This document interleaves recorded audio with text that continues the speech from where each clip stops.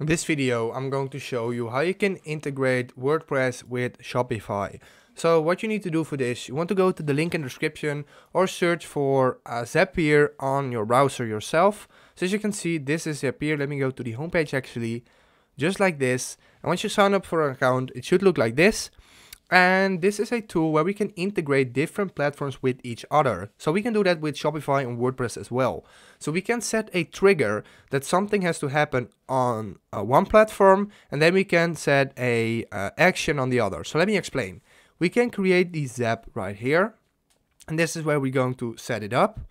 So the trigger will be on uh, WordPress.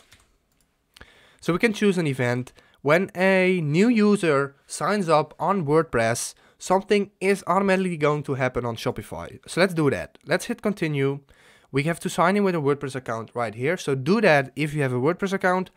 Um, and then we can go to the second step, which is the action. So we can go to Shopify right here, choose the event.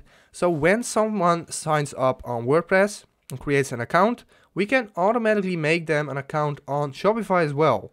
So we can select create customer. Now we can hit continue. We can choose the Shopify account.